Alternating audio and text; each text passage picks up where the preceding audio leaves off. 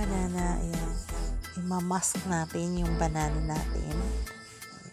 Hiniwa-hiwa ng mas maganda ihiwain na po ng maiikli yung banana para madali na siyang i-mask ng tinidor or whatever ano ang komportable na pang-mask mo. Yan, hanggang sa magiging pinong-pino ang banana.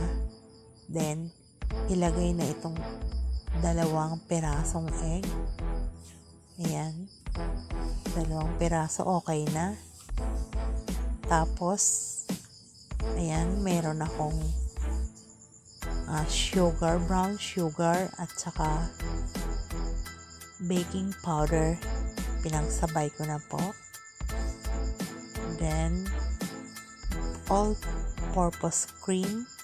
Ayan, medyo na frozen siya dahil nilagay ko sa fridge.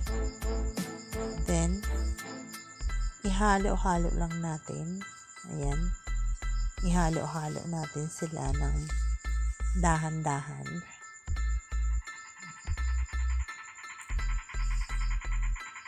Hanggang sa mag-incorporate na silang lahat.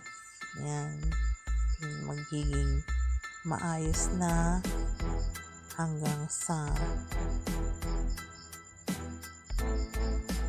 ihalo ng ihalo lang yan hanggang sa maayos ng pagkahalo then i-add natin ang isang basong flour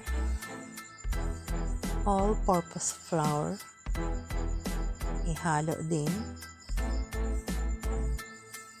hanggang sa mag-incorporate din silang lahat. Then, halo ng halo lang. Konting tiyaga kasi masyadong malapot ang saging.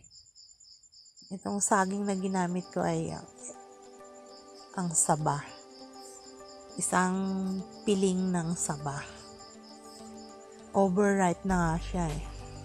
Kaya medyo maganda ang texture niya, malambot na malambot siya. Talagang maayos yung pagkahinog. Ayan na. Idadagdag natin ang ginayat nating cheese. Ayan.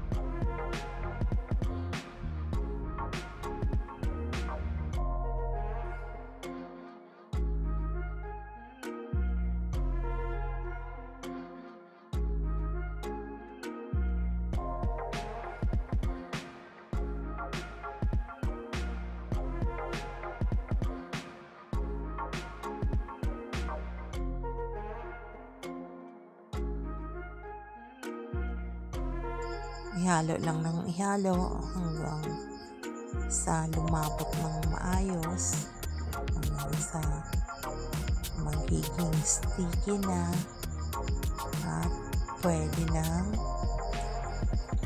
ilagay sa ating baking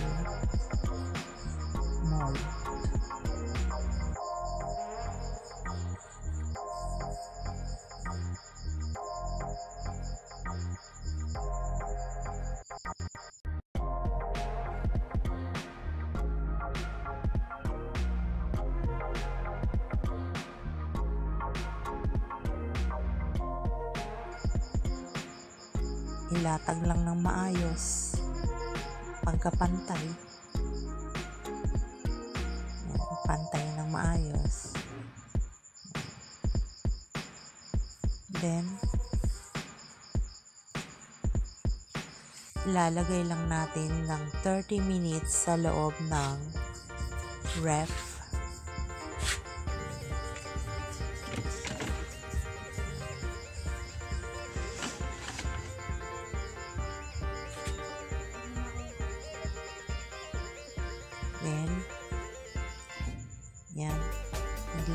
tayo ng isang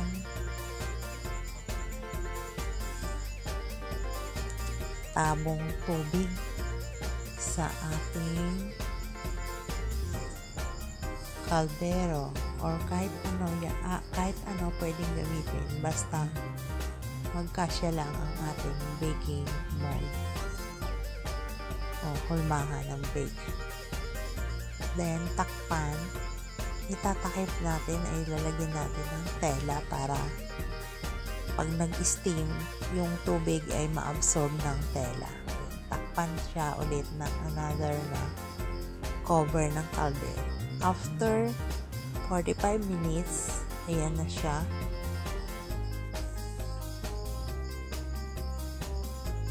Ayan. Pwede na siya.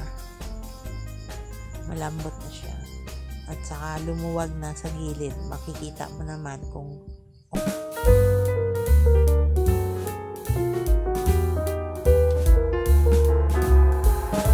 I've got an itch I can't scratch, I'm missing a piece that completes a whole part of me, an open wound scar to see.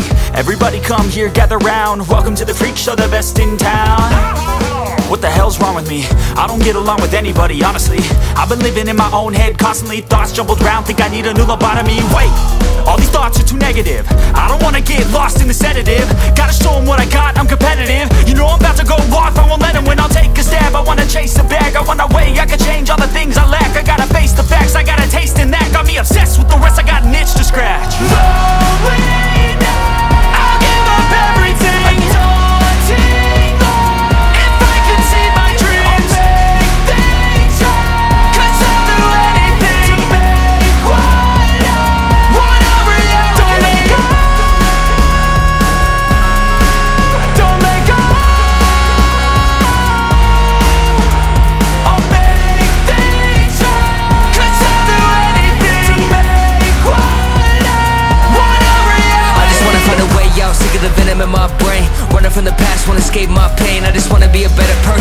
deserve this I just wanna break these chains. Always asking for greatness, true to myself, I never fake it. Seen too many ones that I so they get famous. And when I say the truth, most really can't take it. In spite of everything I've been through, I'ma make it. Fake friends, but on my downfall is toxic. Day one, started the outlaws for profit. Now all I do is